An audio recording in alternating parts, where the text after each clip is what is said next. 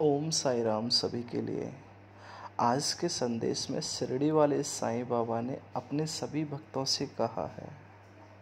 उससे पहले मैं आपको बताना चाहता हूँ, अगर अभी तक आपने हमारे चैनल को लाइक, शेयर, सब्सक्राइब नहीं किया है तो प्रिय दोस्तों, मेरे चैनल को लाइक, शेयर, सब्सक्राइब ज़रूर करें। धन्यवाद आपका। आपका दिन शुभ हो। आज के संदेश में बाबा अपने सभी भक्तों से कह रहे हैं, मेरे बच्चों, अहंकार, अहंकारी मनुष्य अहंकारी मनुष्य को कभी मेरे रूप के दर्शन नहीं हो सकते। वो मनुष्य कभी मेरे स्वरूप के दर्शन कर ही नहीं सकता। जिस व्यक्ति के अंदर अहंकार आ जाता है, अहंकार सर्वप्रथम उसके ज्ञान को नष्ट कर देता है, मेरे बच्चों। जिस मनुष्य का ज्ञान नष्ट हो जाता है, वो मनुष्य अज्ञानी हो जाता है। उसे कोई ज्ञान नहीं होता, वो अज्ञानी हो जाता है और अज्ञानी मनुष्य के अंदर कभी इंसानियत नहीं होती। अज्ञानी मनुष्य के अंदर इंसानियत नहीं होती और जिस व्यक्ति के अंदर इंसानियत नहीं होती मेरे बच्चों, वो इंसान नहीं हो सकता। मैं कहूँ तो मेरे बच्चों, जहाँ तक है कि अहंकार मनुष्य को खुद मनुष्य को अहंकार खुद की ही नज़रों में ऊँचा उठाता है। किसी को कुछ पता हो या नहीं हो, लेकिन वो इंसान अपने अहंकार के कारण अपने आप को बहुत बलशाली और शक्तिशाली समझने लग जाता है। वो एक दिन भगवान को भी चुनौती देने लग जाता है कि मैं ही सब कुछ हूँ। मैं ही इस पृथ्वी पर सबसे अनोखा प्राणी हूँ। जहाँ तक है वो किसी को अपने समान नहीं समझता। सबको अपने आप से छोटा और एक अपने आप को सबसे बड़ा समझने लग जाता है वो। जिस व्यक्ति के अंदर अहंकार आ जाता है, वो व्यक्ति अपने ईष्ट, अपने ईश्वर से बहुत दूर चला जाता है। मेरे बच्चों, अहंकारी व्यक्ति को मैं अपनी नज़रों में एक मूर्ख व्यक्ति के समान ही समझता हूँ। और उसकी गलतियों को मूर्ख व्यक्ति के समान ही समझकर माफ़ करता रहता हूँ। लेकिन जब उसके अहंकार का घड़ा एक दिन भर जाता है तो उसके अहंकार को भी मैं अपनी ही शक्तियों से नष्ट कर देता हूँ। उसके अहंकार को नष्ट करने के बाद उस व्यक्ति को भी मैं नष्ट ही कर देता हूँ, उसे किसी लायक नहीं छोड़ता। मैं कहूँ तो मेरे बच्चों मैं उसके वंश तक को भी मिटा देता हूँ। क्योंकि मुझे क्रोध पसंद है, लेकिन अहंकार बिल्कुल भी नहीं पसंद मुझे। मुझे प्यार पसंद है, लेकिन दुश्मनाई बिल्कुल भी नहीं है पसंद मुझे, मेरे बच्चों। तुम एक दूसरे से प्यार करो, मिलकर रहो, मुझे बहुत अच्छा लगेगा। तुम लड़ाई झगड़े हर रोज़ की तरह हर रोज़ करोगे तो मुझे बिल्कुल भी अच्छा नहीं लगेगा, मेरे बच्चों। मैं जानता हूँ मेरे बच्चों, इस दुनिया में रहते हो तुम और इस दुनिया में रहने के लिए। कभी प्यार भी करना पड़ता है तो कभी झगड़े भी करने पड़ते हैं। ऐसा नहीं है मेरे बच्चों कि प्यार से ही यहाँ दुनिया में रह लोगे, प्यार से ही सबको मना लोगे। किसी को किसी तरीके से तो किसी को किसी तरीके से मनाया जाता है यहाँ पे।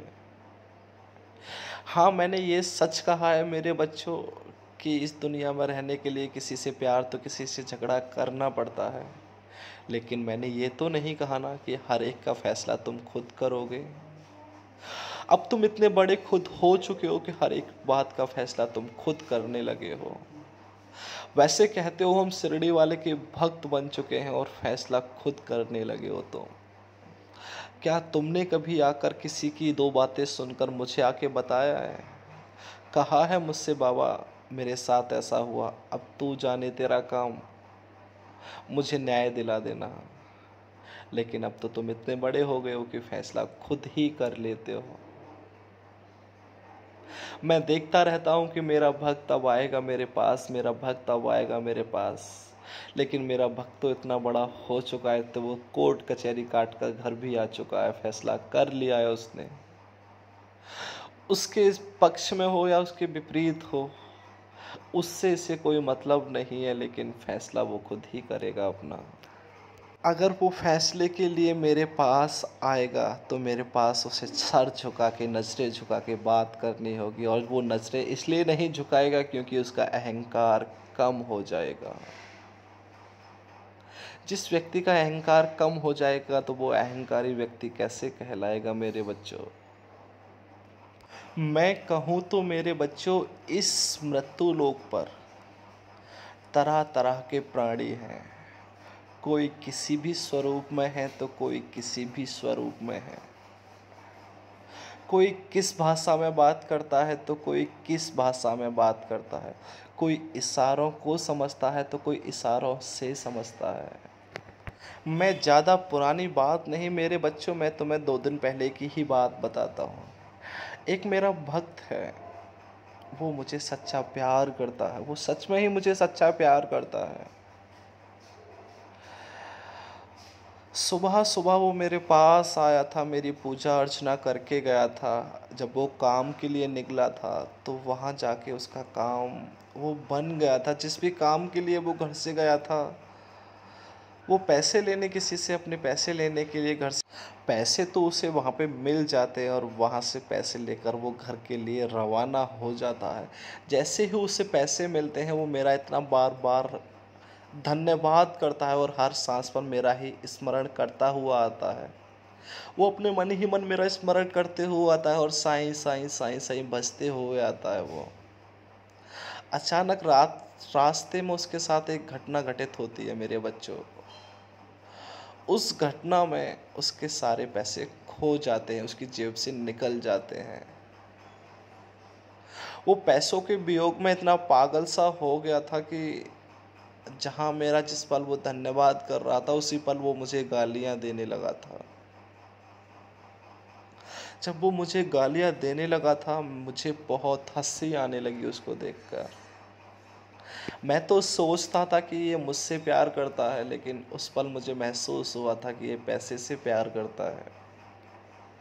अगर ये मुझसे प्यार करता था, अगर ये मुझसे प्यार करता होता तो पैसे के खोने पर मुझे मुझे अब सब नहीं बोलता ये, और पैसे के मिलने पर मुझसे बार बार मेरा धन्यवाद नहीं करता मेरे बच्चों ये।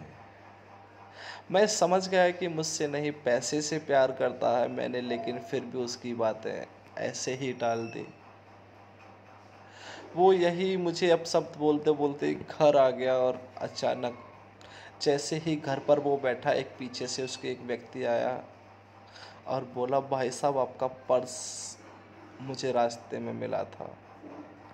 जैसे ही उसका पर्स दिया, वो फिर मेरा धन्यवाद करने लगा, बाबा, आपका धन्यवाद।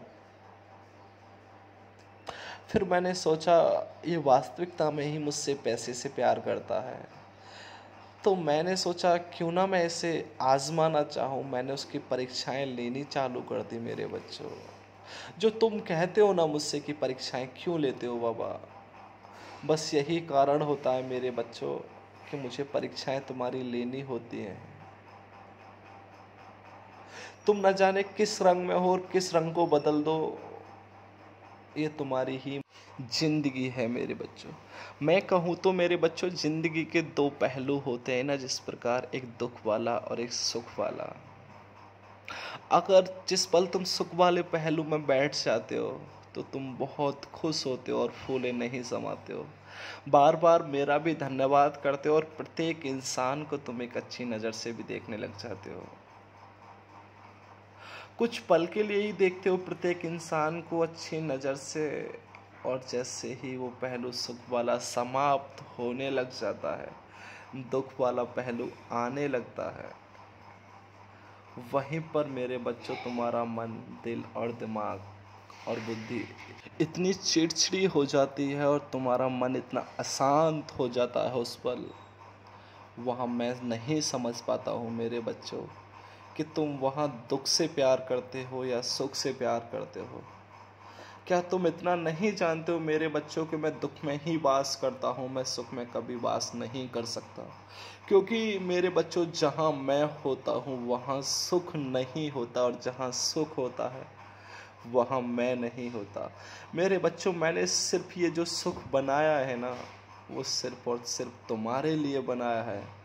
मैंने इस सुख को कभी नहीं चखा है मेरे बच्चों, और ना ही मैं कभी चखूँगा। मैं सुख से इतना दूर रहता हूँ मेरे बच्चों, जितना तुम दुखों से दूर रहना चाहते हो। मैं कभी नहीं आना चाहता इन सुखों की, परछाइयों को भी नहीं देखना चाहता। मैं तो हमेशा दुख में ही रहना चाहता हूँ, और वहीं पर रहूँगा मेरे बच्चों। जहाँ दुख होगा या कोई दुखी इंसान होगा वहीं तुम मुझे याद करना, मैं अवश्य ही बहुत जल्द प्रकट हो जाऊँगा मेरे बच्चों, क्योंकि मैं मुसीबतों में और दुखों में और दुखियारों में ही वास करता हूँ। मैंने बार बार अपने भक्तों को समझाया था कि मेरे बच्चों, मैं सिर्फ़ दुख में रहता हूँ। मुझे दुख ही पसंद है, लेकिन कुछ भक्त मेरे मुझे सुख में ढूंढते हैं। सुख में मेरे नाम का स्मरण करते हैं और दुख में मुझे भूल जाते हैं। और कुछ भक्त मेरे ऐसे हैं जो मुझे दुख में स्मरण करते हैं और सुख में भूल जाते हैं। ये दुनिया अजीबो गरीब नमूनों से भरी हुई है मेरे बच्चों। यहाँ तुम भी एक नमूना बनकर मत रहो मेरे बच्चों। मुझे समझो मेरी शक्तियों को, समझो ईश्वर पर विश्वास रखो। एक दिन तुम्हारी ज़िंदगी में अवश्य ही ऐसा आएगा। जो तुम्हारे स्वप्न है, जो तुम्हारी इच्छा है, वो प्रत्येक इच्छा पूर्ण हो जाएगी उस दिन। अब ये तो नहीं है मेरे बच्चों की जब तक तुम्हारी इच्छा पूर्ण नहीं होगी, तब तक तुम मुझ पर आस्था और विश्वास नहीं बनाओगे। तब तक मेरी भक्ति नहीं करोगे। कुछ भक्त मेरे सोचते हैं कि, बाबा, ये हमारी इच्छा पूर्ण हो जाएगी तो मैं तुम्हारी भक्ति करूँगा। और उनकी जब इच्छा को मैंने देखा तो उनकी इच्छा थी किसी की शादी की। किसी की धन दौलत की, किसी की पैसे की इच्छा थी, मुझसे कि पैसा मिल जाए तो किसी की जोरू और ज़मीन की इच्छा थी। मैं सोच में पड़ गया, ये मेरे बच्चे मुझसे इन चीज़ों के लिए मेरे पास आएँगे। अगर मैं इनको ये सब चीज़ें दूँगा, तभी ये मेरे पास आएँगे, अन्यथा मुझे छोड़ देंगे। फिर मैंने सोचा, कोई नहीं, ये बच्चे हैं, मैंने उनकी सारी ख्वाहिशें पूरी कर दी। किसी को घर तो किसी को ज़मीन तो किसी को जोरू। किसी को धन दौलत मैंने, हर एक को सब कुछ दे दी, अपने पास कुछ नहीं रखा मैंने। सबको सब कुछ दे दिया मैंने।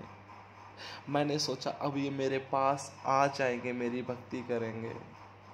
मैं उनकी ओर हर पल निहारता रहा निहारता रहा, जब काफ़ी समय हो गया उनकी ओर निहारते निहारते तो मैंने देखा कि हाँ ये मेरे बच्चे मेरी भक्ति करने आएँगे। लेकिन जब मैंने देखा था उनकी तरफ़, जिस जिसको मैंने जो जो चीज़ दी थी, वो उसी में व्यस्त था। मुझे फिर भी भूल गया वो। पहले तो मेरा नाम हर पल रटता रहता था, लेता भी रहता था। लेकिन जब से मैंने उसकी हर इच्छा पूर्ण की है, तब से तो वो मुझे बिल्कुल ही भूल गया है। वो कहने लगा है, अब तो कौन साई, कहाँ का साई? कहीं भगवान भगवान नहीं है, क्या जब मैंने दुख झेले थे, तब भगवान क्यों नहीं आए थे?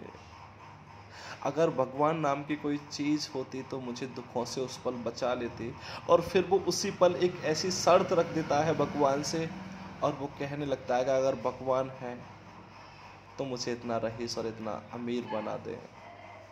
मेरे बच्चों, में उसकी उस पल इच्छा तो पूर्ण कर सकता हूँ, लेकिन कुछ नियमों से मैं भी तो बंधा हुआ हूँ ना मेरे बच्चों।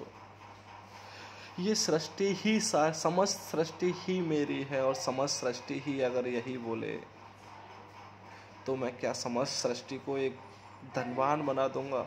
सबको सुख ही सुख दे दूँगा, दुख किसी को नहीं दूँगा मेरे बच्चों। मेरे लिए तो मेरे बच्चों, तुम दोनों ही बराबर हो, एक तो भक्ति करने वाला और एक भक्ति ना करने वाला। मैं दोनों को ही समान नज़रों से देखता हूँ, बस फ़र्क इतना है कि तुम मेरी भक्ति करके अपना अगला जीवन सुधार रहे हो और वो मेरी भक्ति नहीं करके अगला जीवन भी अपना बिगाड़ रहा है वो। बस फ़र्क इतना है।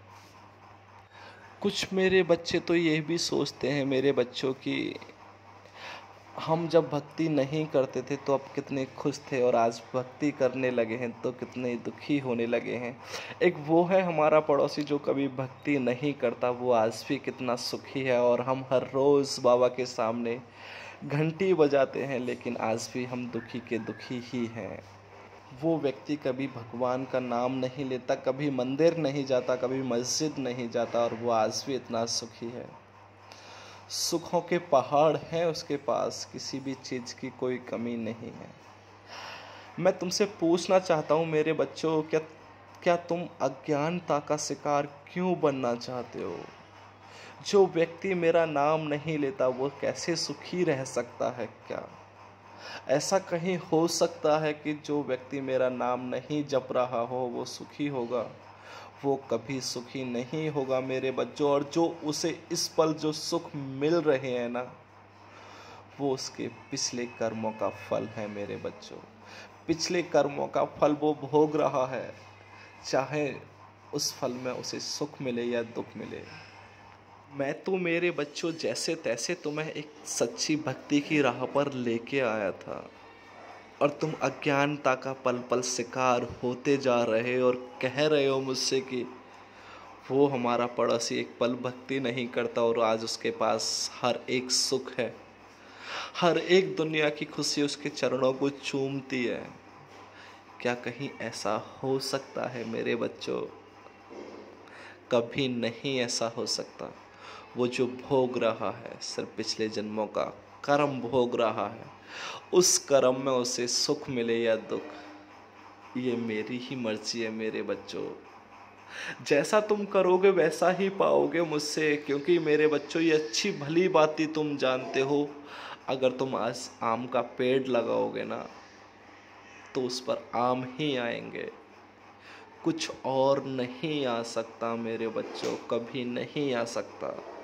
मैं तुमसे ही पूछना चाहता हूँ, मेरे बच्चों, क्या कभी कड़वी चीज़ मीठी हो सकती है क्या?